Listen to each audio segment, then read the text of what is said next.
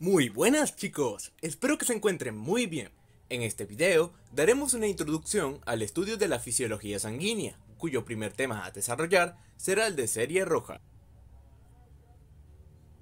La sangre se define como un tejido conjuntivo especializado fluido, el cual está compuesto por dos partes esenciales, el plasma y los elementos formes. El plasma es la porción líquida de la sangre y representa un 55% de esta, Dicho plasma está compuesto por agua, iones, proteínas, enzimas, entre otras sustancias. Por otro lado, los elementos formes no son más que las células sanguíneas, las cuales representan el 45% de la sangre. Dichas células se dividen en tres grupos, el de los eritrocitos, hematíes o glóbulos rojos, el de los leucocitos o glóbulos blancos y por último el de las plaquetas o trombocitos. La sangre tiene funciones celulares y plasmáticas. Dentro de las celulares tenemos transporte de gases, como oxígeno y dióxido de carbono. Esto se lleva a cabo gracias a la hemoglobina, la cual es una proteína que se encuentra en el interior de los eritrocitos. Ella se encarga de llevar el oxígeno a los tejidos del cuerpo, de los cuales toma el dióxido de carbono para intercambiarlo por oxígeno cuando llega a los pulmones. De esta manera, la sangre desoxigenada que viene del ventrículo derecho se convierte en sangre oxigenada, la cual regresa al corazón por medio de las cuatro venas pulmonares, quienes llevan dicha sangre a la aurícula izquierda. Posteriormente, la sangre pasa al ventrículo izquierdo y es eyectada por medio de la arteria aorta para así salir del corazón y llegar al resto de nuestros tejidos. Al llegar a ellos, la hemoglobina le cede el oxígeno y capta el dióxido de carbono que se genera a nivel tisular. De esta forma, la sangre vuelve a estar desoxigenada. Ahora, gracias al retorno venoso, esa sangre vuelve al corazón por medio de la vena cava y entra a la aurícula derecha. Luego pasa al ventrículo derecho y posteriormente es eyectada a través de la arteria pulmonar con el objetivo de llegar a los pulmones para que la hemoglobina ceda el dióxido de carbono y capte el oxígeno, y de esta manera la sangre vuelve a estar oxigenada. La sangre también cuenta con una función amortiguadora, ya que el pH sanguíneo normal varía entre 7.35 y 7.45, lo cual significa que tiene una tendencia a ser ligeramente alcalino.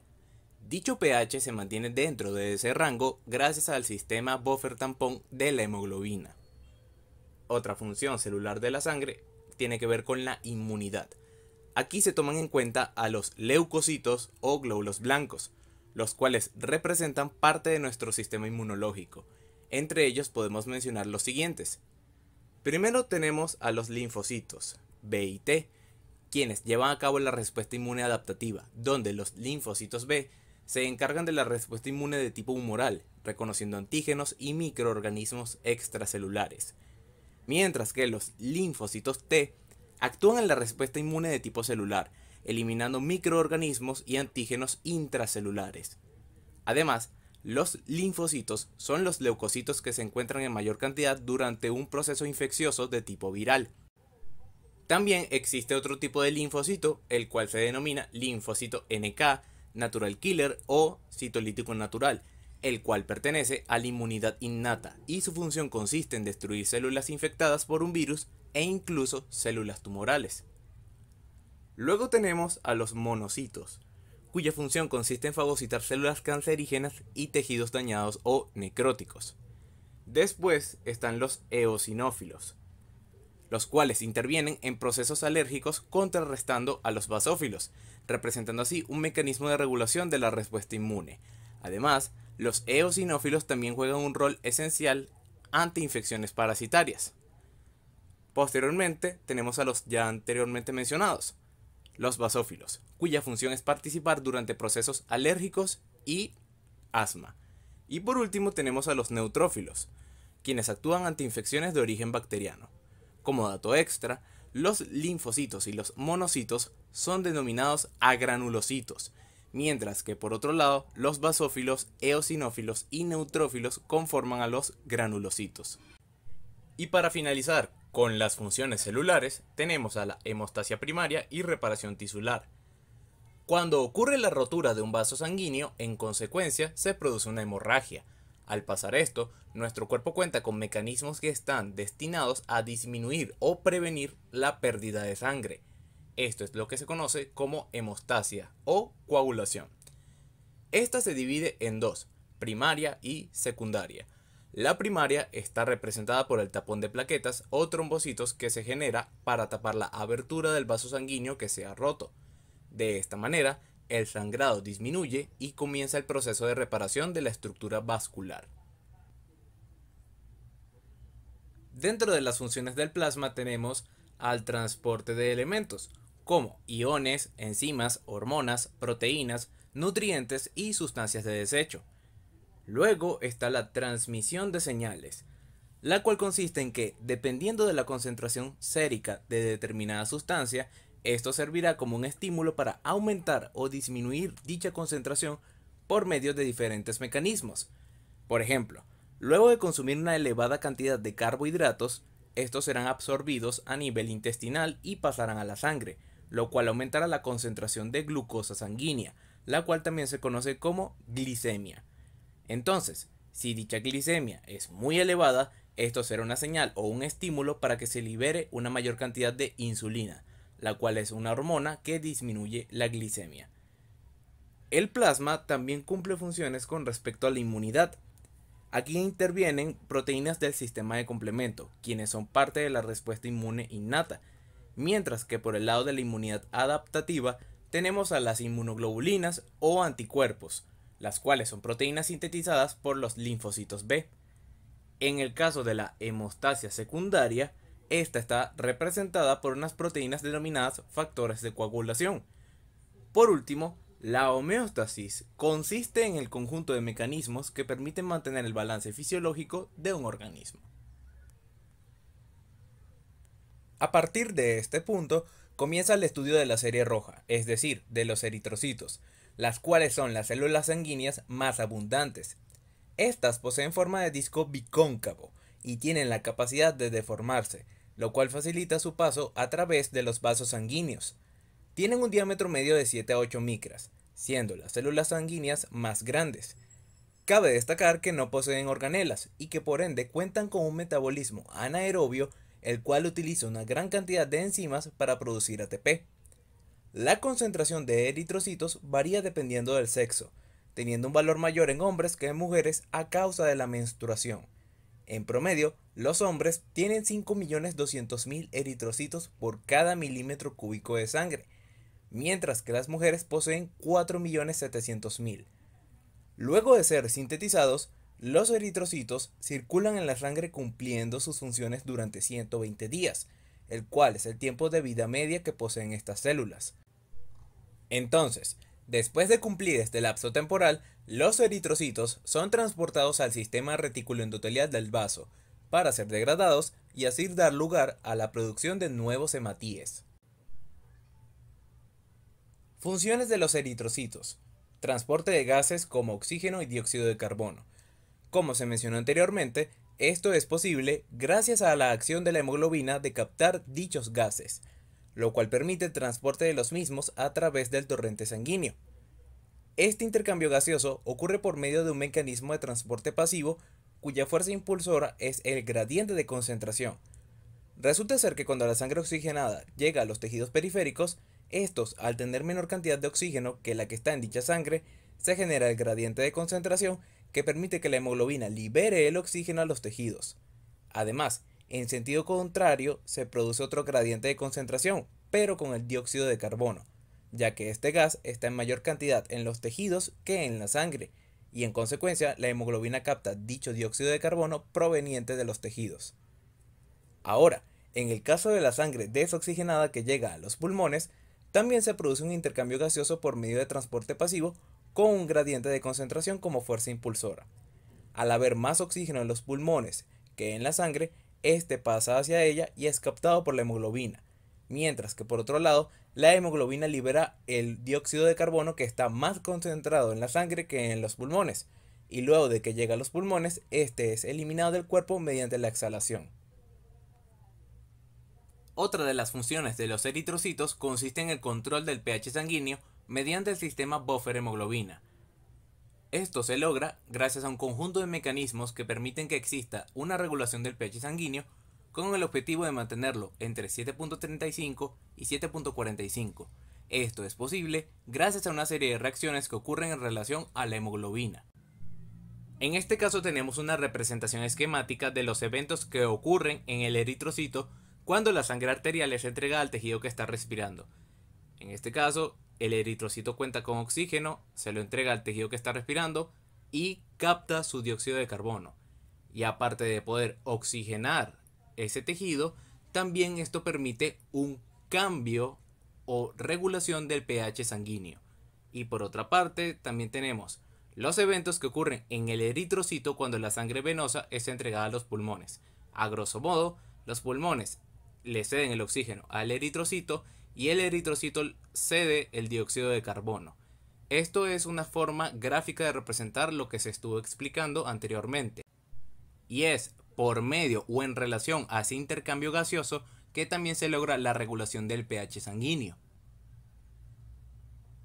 El proceso mediante el cual se forman los tres tipos principales de células sanguíneas se denomina hematopoiesis, es decir, que la hematopoiesis se encarga de producir los eritrocitos, leucocitos y trombocitos. En cambio, la eritropoiesis se refiere al proceso en el cual únicamente se forman los eritrocitos. A lo largo de la vida de una persona, estos se producen en tres órganos, el hígado, la placenta y la médula ósea. En la siguiente gráfica podemos ver la relación que existe entre la cantidad de células sanguíneas que se producen con respecto a la edad del paciente, tomando en cuenta diferentes huesos del cuerpo. Si vemos a la tibia y al fémur, estos son huesos largos que intervienen en gran medida en la eritropoyesis, pero su capacidad de producir glóbulos rojos disminuye de forma progresiva hasta llegar al punto de no ser capaces de generar nuevos hematíes, lo cual ocurre luego de haber llegado a los 20 años de edad aproximadamente. Esto se debe a que para este momento de la vida, la médula ósea de dichos huesos se ha convertido en tejido graso y por lo tanto pierde esa funcionalidad. Por otro lado, podemos ver otros huesos como las costillas, las vértebras y el esternón, que si bien también pierden capacidad eritropoyética con el paso de los años, esta nunca llega a cero sin importar cuánto tiempo pase. Entonces, para resumir, a medida de que un individuo envejece, su capacidad de generar nuevos glóbulos rojos disminuye. Gran parte de esa capacidad es brindada por los huesos largos como la tibia y el fémur, pero estos pierden relevancia luego de haber pasado los 20 años de edad, dejando de esta forma a las costillas, a las vértebras y al esternón como pilares de la eritropoyesis por el resto de la vida de ese individuo. Los eritrocitos no se producen de un momento a otro. Estos pasan por diferentes estadios o formas celulares hasta llegar a su representación definitiva y funcional. Todo parte de las células precursoras hematopoyéticas pluripotenciales, quienes son las encargadas de dar origen a todas las células sanguíneas. Luego, estas células producen un tipo de célula denominado unidad formadora de colonias esplénicas. Posteriormente, estas dan lugar a la formación de otro tipo celular llamado unidad formadora de colonias de blastos, y estas últimas se encargan de dar origen a otra clase de célula denominada unidad formadora de colonias de eritrocitos. A partir de la unidad formadora de colonias de eritrocitos, se genera una célula denominada proeritroblasto, la cual es la primera representante de la serie roja o eritrocítica. Este proeritroblasto se divide varias veces y produce eritroblastos basófilos, los cuales posteriormente se convierten en eritroblastos policromatófilos y luego en eritroblastos ortocromatófilos. La diferencia principal entre estas células es que cada una tiene un tamaño más pequeño que la anterior y el material nuclear se ve reducido en cada forma celular hasta desaparecer por completo. Después de esto, los eritroblastos ortocromatófilos dan origen a los reticulocitos, los cuales aún poseen restos del aparato de Golgi, mitocondrias y algunas organelas citoplasmáticas. Durante el estadio de reticulocito, la célula pasa de la médula ósea a los capilares sanguíneos. El material basófilo restante en el reticulocito desaparece normalmente en uno o dos días, y la célula se convierte en un eritrocito maduro. Esto es lo que explica por qué los eritrocitos maduros no poseen núcleo ni organelas. Y por otra parte, debido a la corta vida de los reticulocitos, su concentración entre los eritrocitos sanguíneos es normalmente menor del 1%. En la regulación de la eritropoyesis, contamos con dos principales mecanismos. El primero tiene que ver con la oxigenación tisular, ya que resulta ser que si ésta disminuye, la eritropoyesis aumenta. La disminución de dicha oxigenación puede ocurrir por diferentes causas como residencia a grandes altitudes, patologías cardiovasculares o respiratorias, hemorragias, entre otras. El otro mecanismo de regulación se realiza por medio de la eritropoyetina, la cual es una proteína de origen renal que induce la formación de glóbulos rojos. Para entender cómo funciona esto, debemos tomar en cuenta ciertos estímulos como volumen sanguíneo bajo, anemia, hemoglobina baja, mal flujo sanguíneo y enfermedades pulmonares. Todos ellos reducen la oxigenación tisular. Y en consecuencia, esto aumenta la producción y secreción de eritropoyetina, la cual aumenta la conversión de las células precursoras hematopoyéticas pluripotenciales en proeritroblastos para que eventualmente se conviertan en eritrocitos y esto aumente la oxigenación tisular. La maduración de los eritrocitos requiere de dos elementos fundamentales, vitamina B12 y folato. Estos son muy importantes ya que intervienen en la síntesis del ADN eritrocitario. La vitamina B12 es un compuesto hidrosoluble que se obtiene de alimentos de origen animal. Dicho nutriente se absorbe en el intestino delgado, específicamente en el ilion. Pero, para poder hacer esto, se requiere de la intervención por parte del factor intrínseco, la cual es una glucoproteína producida y secretada por las células parietales de la mucosa gástrica. Por otra parte, el ácido fólico o vitamina B9 es otro nutriente hidrosoluble que se encuentra en las vísceras de animales, verduras, legumbres, frutos secos y granos enteros. En caso de haber déficit tanto de la vitamina B12 como del ácido fólico, esto dará pie a que se genere una condición denominada megaloblastosis, en la cual se producen eritrocitos macrocíticos o de mayor tamaño, los cuales cuentan con una membrana celular más frágil, provocando así que sean más susceptibles a roturas, teniendo como consecuencia la lisis de la célula y dando origen a una enfermedad denominada anemia megaloblástica. Por otra parte, tenemos la anemia perniciosa, la cual es la causa más frecuente de anemia megaloblástica. Esta entidad patológica se produce por un déficit de vitamina B12, el cual se debe a un déficit o ausencia del factor intrínseco. La hemoglobina es una proteína de estructura globular que se compone de la unión de dos elementos, un grupo prostético llamado hemo y una cadena proteica llamada globina. De forma más específica, se puede decir que la hemoglobina es un tetrámero, el cual está conformado por dos pares de cadenas proteicas, un par alfa y un par beta, y cuatro grupos hemo. De esta forma, cada molécula de hemoglobina es capaz de captar hasta cuatro átomos de oxígeno. Ya hemos desarrollado este punto anteriormente, pero cabe resaltar que la hemoglobina es la que se encarga de transportar el oxígeno en la sangre. La unión entre esta proteína y el oxígeno es laxa y reversible, lo cual es útil para que cuando la sangre oxigenada llegue a los tejidos periféricos, ésta sea capaz de liberar con facilidad el oxígeno, el cual se transporta principalmente en su forma molecular. Además, es necesario recalcar que la afinidad de la hemoglobina por el oxígeno varía según su ubicación en el torrente sanguíneo, siendo más baja en los tejidos periféricos y más alta a nivel de los capilares pulmonares. La anemia drepanocítica es una enfermedad autosómica de carácter recesivo que se presenta principalmente en individuos de raza negra. Dicha enfermedad se produce cuando hay una alteración en la posición 6 de la cadena beta de la hemoglobina, en la cual hay una sustitución del aminoácido glutamina por uno denominado valina.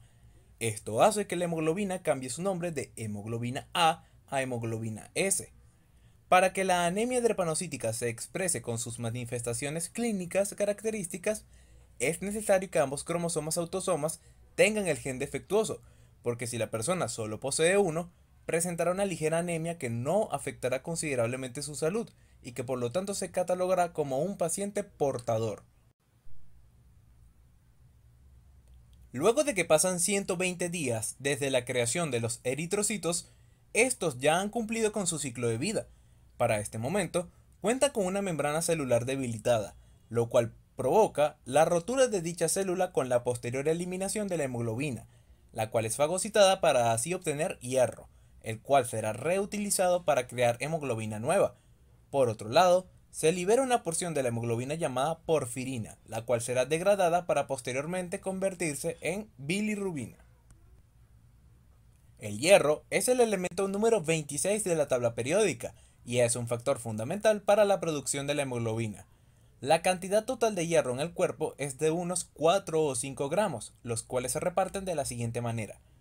5% para enzimas, 10% para mioglobina, 19% para ferritina, 2% para transferrina y un 64% para la hemoglobina. El hierro de la dieta se absorbe a nivel del intestino delgado, específicamente en el duodeno y el yeyuno proximal. Dicha absorción es lenta e incompleta y será en mayor o menor medida dependiendo de la demanda de hierro por parte de nuestro organismo. El hierro es un catión que posee dos formas, una ferrosa que posee dos cargas positivas y una férrica que tiene tres cargas positivas. El hierro férrico representa su forma funcional, pero resulta ser que este es irritante de la mucosa digestiva. Por lo tanto, este es reducido por una enzima llamada ferrireductasa y por la vitamina C, convirtiéndolo en hierro ferroso. Este se absorbe por las células del intestino delgado y ya estando dentro de las células, la reacción anterior se revierte y el hierro vuelve a su estado férrico. Luego, el hierro pasa a la sangre y una parte circula libremente en el torrente sanguíneo, pero otra parte se une a una proteína de origen hepático denominada apotransferrina, que al unirse al hierro se convierte en transferrina. El hierro que no se utiliza para la formación de hemoglobina se almacena en el hígado, el vaso y la médula ósea. Esto se logra gracias a la creación de una proteína soluble llamada ferritina, la cual se obtiene de la unión de la apoferritina con el hierro. Cada molécula de ferritina es capaz de almacenar hasta 4500 átomos de hierro. Pero como todo tiene un límite, resulta ser que cuando se sobrepasa el tope de almacenamiento de hierro corporal, este empieza a acumularse en diferentes órganos bajo la forma de hemosiderina, la cual es una proteína insoluble que da lugar a la formación de micelas. Esto es lo que finalmente origina una condición denominada hemosiderosis, la cual consiste en la presencia de grandes cantidades de hemosiderina, pero sin que la salud del individuo se vea afectada. El problema con esto es que si dicho hierro sigue acumulándose, la hemosiderosis dará origen a una enfermedad llamada hemocromatosis, la cual sí es capaz de causar daño orgánico y poner en riesgo la vida de la persona que la padece. Los órganos más afectados por esta enfermedad son el hígado, el corazón y el páncreas. Ahora, con respecto a la eliminación del hierro, esta está limitada a 0.6 miligramos por día, aunque en mujeres puede llegar hasta 1.3 miligramos diarios, y dicha eliminación se realiza por medio de las heces. Con respecto a los valores de una hematología, estos pueden variar dependiendo del laboratorio, sin embargo, se pueden establecer ciertos valores estándar para comprender si un paciente tiene alguna alteración que afecte a sus células sanguíneas. Haciendo énfasis únicamente en los eritrocitos, tenemos que la cantidad en hombres va desde los 4.200.000 hasta los 5.400.000 por cada milímetro cúbico de sangre, mientras que en las mujeres la cantidad de eritrocitos va desde los 3.600.000 hasta los 5 millones por milímetro cúbico de sangre. En relación al hematocrito, tenemos que este valor representa el porcentaje de células sanguíneas dentro de la sangre. En hombres va desde un 42 a un 52% y en mujeres va desde un 36 hasta un 48%. Por otra parte, tenemos que la hemoglobina en hombres va desde 13 hasta 17 gramos sobre decilitro y en mujeres va desde 12 hasta 16 gramos por decilitro. Entonces, el valor del hematocrito y de la hemoglobina en hombres suele ser mayor que en las mujeres debido a la pérdida de sangre que ocurre cada mes durante el ciclo menstrual. Otros parámetros de la hematología que podemos tomar en cuenta para evaluar el estado de salud de una persona son el volumen corpuscular medio, el cual se refiere al tamaño de los eritrocitos y este se mide en fentolitros. Cuando este valor está entre los 80 y los 94 fentolitros, se dice que está normal, o sea, hay normocitosis o eritrocitos normocíticos. Si el valor está por debajo de 80 fentolitros, estamos en presencia de eritrocitos pequeños o microcitosis, que es lo que ocurre en la anemia ferropénica o ferropriva, la cual es el tipo de anemia más común, que se produce por un déficit de hierro, y por consiguiente hay un declive en la cantidad de hemoglobina presente en la sangre. Además, este tipo de anemia se cataloga como anemia microcítica hipocrómica, porque los eritrocitos no solo son pequeños, sino que en vez de tener ese color rojo característico, poseen un tono más pálido debido a la reducción de la hemoglobina. Por otro lado, si el valor del volumen corpuscular medio es mayor a 94 fentolitros, se puede decir que estamos en presencia de eritrocitos macrocíticos o macrocitosis, y esto se puede encontrar en la anemia megaloblástica. El siguiente valor a evaluar será la hemoglobina corpuscular media, el cual se refiere a la cantidad de hemoglobina que poseen los eritrocitos. El valor normal oscila entre 26 y 34 picogramos. Y por último tenemos a la concentración de hemoglobina corpuscular media, que no es más que la relación que existe entre el tamaño de los eritrocitos y la cantidad de hemoglobina que poseen en su interior. El valor normal de este parámetro oscila entre 32 y 36 gramos por decilitro. Como punto final de la clase tenemos a la policitemia, la cual puede decirse que es la antítesis de la anemia. Esta también se conoce como plétora, poliglobulia o eritrocitosis, y se define como una condición en la cual aumenta el hematocrito debido a un incremento del número de eritrocitos o a una disminución del plasma sanguíneo. La policitemia se puede clasificar en absoluta y relativa. En la relativa, no hay un aumento de los eritrocitos, sino que hay una disminución del plasma sanguíneo, lo cual produce un incremento del hematocrito por hemoconcentración. Esto se produce principalmente en pacientes con deshidratación o altos niveles de estrés. La policitemia absoluta se debe a un aumento de la masa eritrocitaria y por ende del hematocrito. Esta se puede clasificar a su vez en primaria y secundaria. La policitemia absoluta primaria también se denomina policitemia vera, la cual se produce por una proliferación excesiva de las células madres mieloides, con niveles normales o bajos de eritropoyetina. En el caso de la policitemia absoluta secundaria, esta se subdivide en adecuada e inadecuada. La adecuada puede ser causada por enfermedades pulmonares como el EPOC, permanencia a grandes alturas y cardiopatías cianóticas. Se denomina adecuada porque dicha policitemia se produce en consecuencia a un estímulo que provoca una respuesta de adaptación por parte del organismo, y dicho estímulo no es más que la disminución de la oxigenación tisular. Y con respecto a la policitemia absoluta secundaria inadecuada, esta se presenta cuando existen tumores secretores de eritropoyetina, que por consecuencia aumentan drásticamente la tasa de producción de eritrocitos. Y bien chicos, para finalizar la clase les dejaré la siguiente frase. ¿Cuánto podríamos avanzar si no tuviéramos que cargar con nuestros miedos a cuesta? Es curioso ver cómo la gente pide a gritos una fuerza que ya tiene. Podrán haber muchas dificultades, pero recuerda que tú eres tu peor enemigo. Si caes, ponte de pie y no vuelvas a perder. Yo nunca me rendiré y tú tampoco debes rendirte. Sigue avanzando. No se trata de por qué peleas, sino por quién. No fracasarás si vale la pena.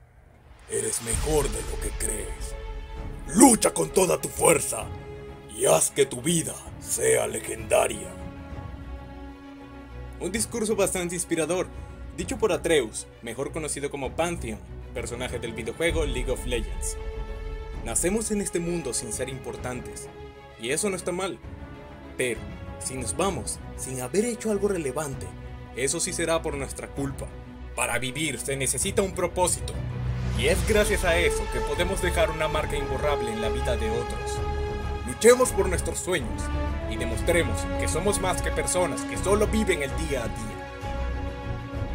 Así que espero que el video les haya gustado y que les sea de mucha utilidad. Les deseo mucho éxito y les agradezco por todo su apoyo. Nos vemos hasta la próxima.